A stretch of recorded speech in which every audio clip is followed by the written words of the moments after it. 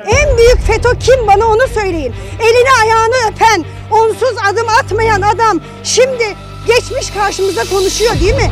Ve ben bu hükümetin başındaki o tek adama söylüyorum. Zerresine kadar, zerresine kadar konuşma helal etmiyorum. Hakkımı haram zıkkım ediyorum. Bu kadar net.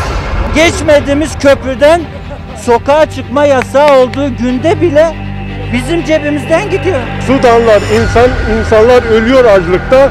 Suudi Arabistan'da da biz kurbanları kesip kumlara gömüyoruz. Vallahi hocam ben ne yoğurttan ne sütten derdim var. Benim en büyük derdim şu. Öyle bir ülkede yaşıyoruz ki. Yani maalesef ki cennet gibi ülkede.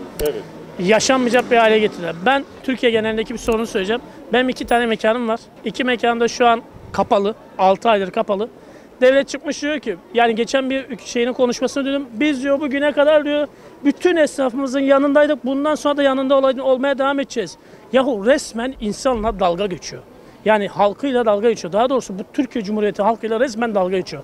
Ben 25 milyar kira veriyorum. 6 ayda 150 milyar mal sahibi hiç hiçbir şekilde kendine kasmadan icraya veriyor beni. İcra yoluyla parasını tahsil etmeye çalışıyor. Ya da seni sokağa atarım diyor.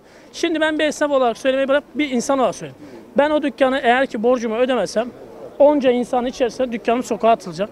E, ödesem gücüm yok kardeşim. Sen beni 6 ay boyunca kapattın.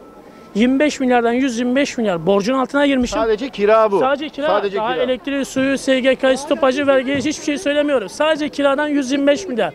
Şimdi elektriğin bir geliyorum, dükkana giriyorum bakayım hani içeride akvaryum var, içeride bir şey hayvanlara yem vereceğim. Bir geliyorum elektriğim kesilmiş. Niye? 138 lira. İki tane restoranta sadece içeride çalışan dolaplar, mallar bozulmasın diye çalışan dolaplardan 138 lira ödenmemiş diye saatin elektriği kesilmiş. Ya kardeşim bu adamın dükkanı kapalı. Bu adamın sağ içeride dolabı çalışıyor ki 138 lira işlemiş. Şimdi ben bu adamın elektriğini kesersem içeride malı bozulsa biz öyle bir hale gelmişiz ki abicim yanlış ama ne bizim toplumumuzda vicdan kalmış ne bizim toplumun başındaki insanlar vicdan kalmış. Sen çıkıyorsun oradan diyorsun ki biz hesabımıza destek verdik. Yahu sen 46 milyar TL para dağıttım diyorsun. Ben esnafım 6 aydır dükkanım kapalı. Kiramı bırak, her şeyimi bırak. Benim evime de nafaka girmiyor. Sen bana 1 milyarla benim hayatımı daim edebileceğimi kanaat getiriyorsun. 300 tane danışmanı olan bir devlet adamı olarak, devletin başkanı olarak sen diyorsun ki 1000 lirayla geçinirsin. Bana yardım veriyorsun. Kardeşim sen bana 1000 lira parayı verme. Ben ilkokul 2. sınıf mezunuyum. İlkokul 2. sınıf. Ben ki eğer ki bu ülkede bu yaşanan duruma diyorsam ki kardeşim 300 tane de danışmanı var. Hiçbir tane o 300 tane danışmanı doktorasını yapanlar var, master'ını yapanlar var, doçenti olan var. Bir tanesinin aklına gelip de demedi mi kardeşim? Biz bu bin lirayı esnafa vermeyelim. Hani bin lirayla sen bir esnafın hayatını daim edeceğine kanaat getiriyorsun ya bir danışman olarak, bir başkan olarak, ülkenin başkanı olarak bin lirayla kendi geçinirine kanaat getiriyorsun. Biz bu bin lirayı bu mal esnafların mal sahiplerine verelim. Hani o insanlar kira almıyorlar ya. Hayatlarını bununla daim etsinler. Kardeşim siz de godomanları var ya sırtındaki yükü olan godomanları onlara dokunmak da istemiyorsan de ki kardeşim o zaman biz küçük ölçekli, orta ölçekli işletmelerin mal sahiplerine sesleniyoruz. Kardeşim size biz 1750 TL her ay vereceğiz, destek vereceğiz. Siz esnafın sırtına borç yazmayın, kira istemeyin. Bunu söyleyecek o 300 tane danışmandan bir tanesi olmadı mı? Bu ülkenin başındaki bu devlet başkanı olan hani tek adamlığı savunup da ülkeye refah getireceğim diyen bu vatandaş Bakın başkan demiyorum bu vatandaş diyorum. Bunu düşünemedi mi? Sen çıkıyorsun bin lira bana kira desteği vereceğim diyorsun. Sonra altına küçük bir paraf yazıyorsun.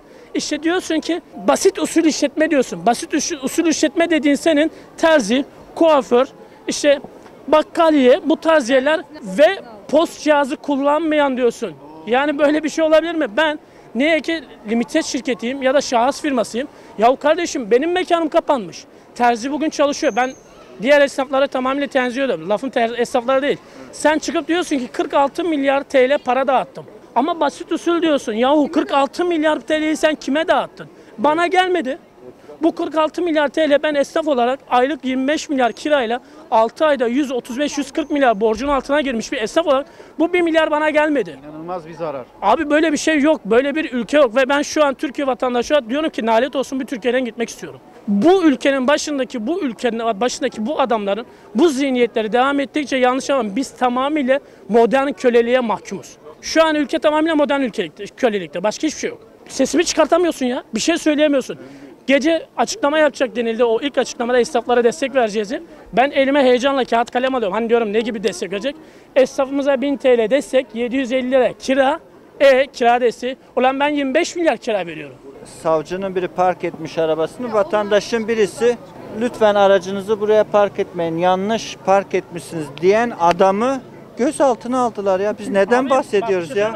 Biz şu an Kim konuşabiliyor şu an ülkede şu an ya? modern diktatörlükte. Ben o günün sabahı açıklama yaptığın sabah şu çarşıda 50 tur attım. Bir tane böyle mikrofon gelsin de bu ülkenin başındaki adama diyeceğim ki sen bize dalga mı geçiyorsun kardeşim? Sen bana nasıl bin lirayla geçirmeyi refah görüyorsun ya? Bin lirayla geçirme ya.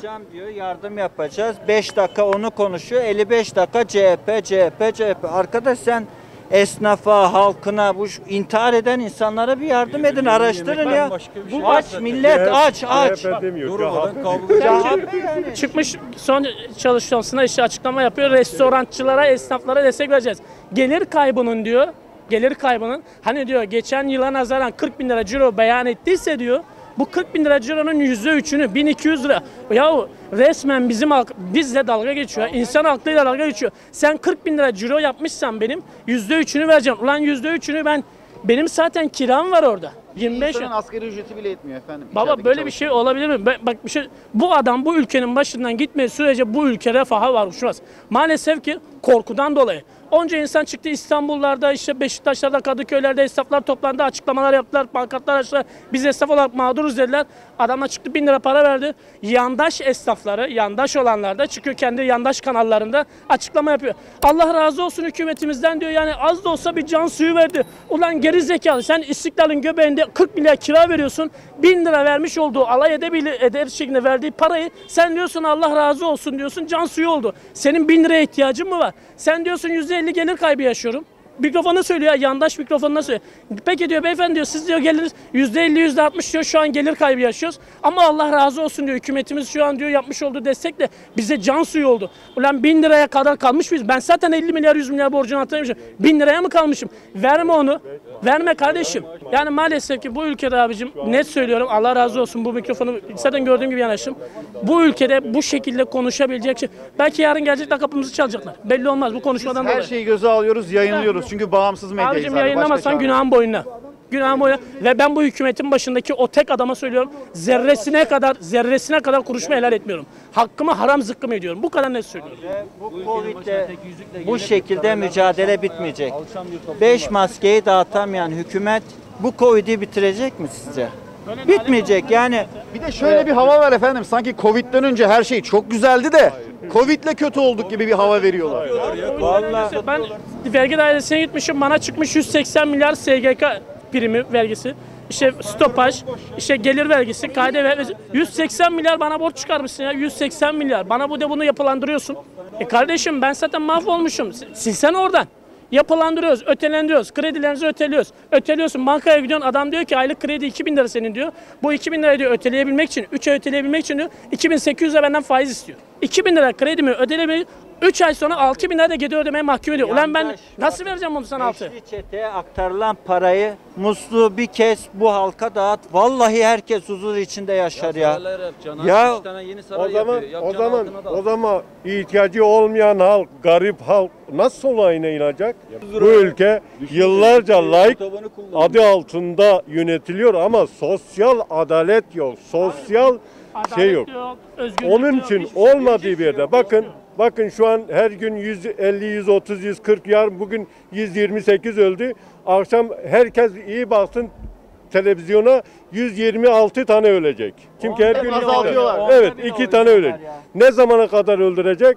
Ta bizim e, turistler gelene kadar. Turizm geldiği gün yüzde iki yani 12 tane öldü, 11 tane öldü, 3 tane öldü. Şirketi olan Türk- insanı getirip Yani bakan bugün yaparsan kendi halkına, hastanesi kendi, olanı getirip kendi bakan vatandaşına sosyal adalet yapmadığı müddetçe hiçbir şey olmaz. Han diyeceksin ki gelen gideni aratacak. Çünkü gerçek sosyal adaletli bir insan bu ülkenin başında bütün halkı bu cennet bu cennet bu cennet memleketi güzel yönetmek için bir şeyler yapmak lazım. Elini taşın altına koymak lazım. Elini taşın altına koymadığı müddetçe çok güzel söylüyoruz. Vallahi herkes rahatsız. E ne yapalım? Seçim günü geldiği zaman bakıyorum yine orada. Ne oluyor? Din iman diyoruz ya. Suudi Arabistan bizim kıblemizdir. Sudan'la Suudi Arabistan'ın arasında 33 dakika var. Sudan'da Sudanlar insan insanlar ölüyor açlıkta. Suudi Arabistan'da da biz kurbanları kesip